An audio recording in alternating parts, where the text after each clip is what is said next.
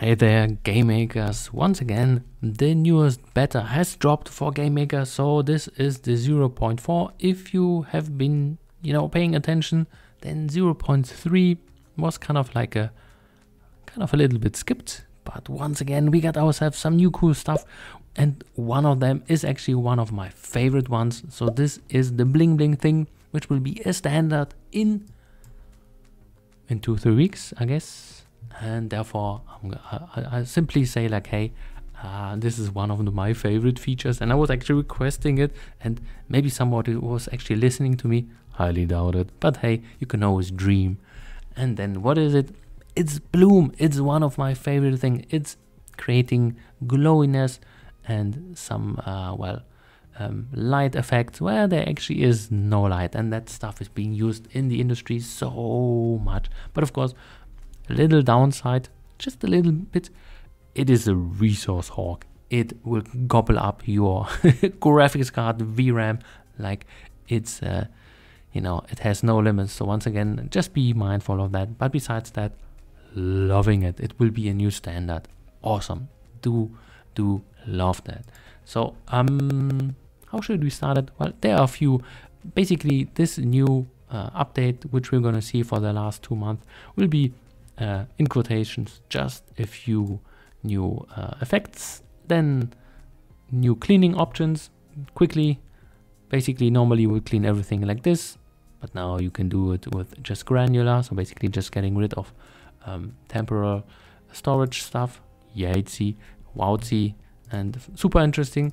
Not really, but hey, um, it has some application. And then asynchronous here, the newest is audio playback, and these are the not so bling bling parts, but let's go actually into the interesting stuff. So here, the newest effect, which is called glow, and um, yeah, this is how it's called.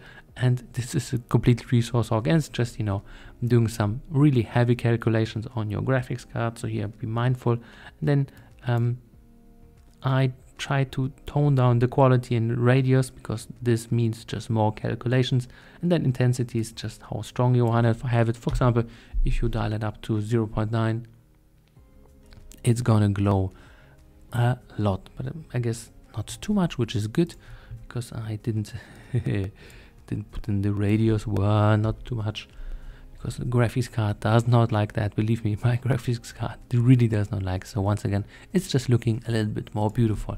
Once again one of my favorite effects and thank you to YoYo Games team whoever thought this was a good idea. Yes it is a good idea.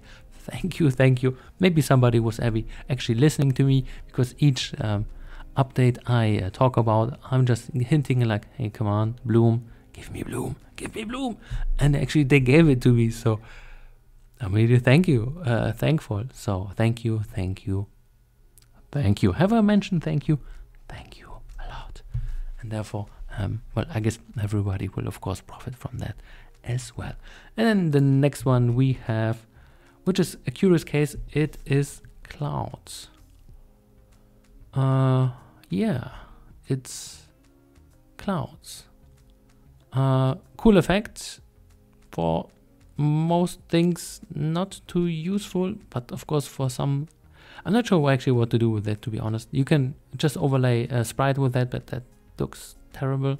So um, that's not a good idea. So this is meant as a screen filling effect. You can just play around with a lot of things here. Um, yeah, and it is cool looking. So I'm not gonna, I'm not doubting that here. Yeah, let's make that some trippy stuff. Yo, um, cool, cool things. So once again, pretty interesting effect. Hopefully, uh, you guys have pretty have some good ideas what to do with it. But once again, um, more stuff. Uh, the more stuff, the better. And then the next one we have recursive blur. It does one thing, which is well blurring things. So, for example, once we start it, you will see a blur effect. Ooh, yeah, awesome. I know. Um, well, the more the better. Um, I'm actually not too in depth because we got different kind of blur. So we got a, a large blur, linear blur, blur blur. do we have a blur blur? it's not. Well, we get tons of ways and then we get one more for the win. And then the next one we got mask. Not going to take away from that because I assume it has a very specific application. But just, you know, we, um, hmm, I'm just using one blur and this is doing um, most of the work, which is good enough for me. Then we got ourselves mask. This one is a curious case. So let's say you use it as a global thing for everything. Not a good idea. And you think you could mistake it with um, the vignette and you would be kind of right because it's kind of a similar effect but it's not supposed to be used as a global thing. It is supposed to be used for example on an image. There you mask that dude. Mm -hmm. where are you? Mask here we go.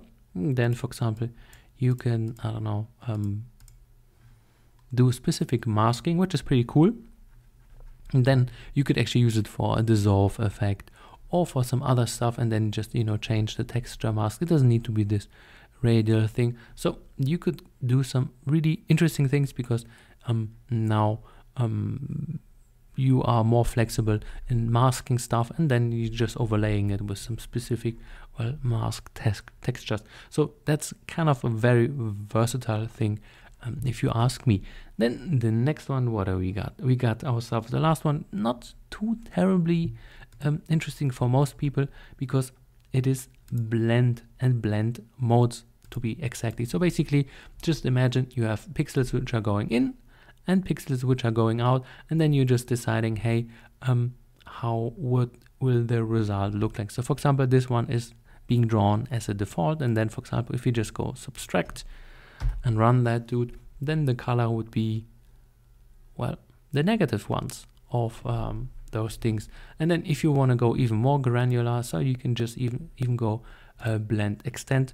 This is more for the advanced um, users. And then if, for example, if you want to do very specific blending effects on specific layers, then this is for you. Normally you would do that in code, and now you can do it via um, an effect type pretty cool stuff. So I have to play around with it. For most people, I would say it doesn't have any real applications. Um, so, for example, this stuff is actually pretty sweet for uh, for light effects, or for example, for illumination. There, it's definitely more useful. So here, just play around with that if you like. And then we are pretty much done. So once again, that's pretty much it. We will have the well, the update in two weeks, I assume, rather three, so on the 5th, 10th, or something like this. And um, yeah, so once again, my biggest, biggest, biggest highlight is it's not vignette, most definitely not. It is, of course, I love myself vignette, it's a pretty sweet thing, but glow, yes, for the win.